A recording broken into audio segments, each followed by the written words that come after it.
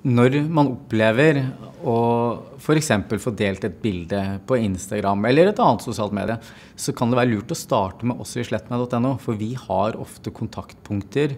Og vi har metodikker for hvordan man skal gå fram på de ulike sosiale mediene. Da kan man enten gå inn på slettmed.no, og der ligger det veiledninger på de aller fleste større mediene.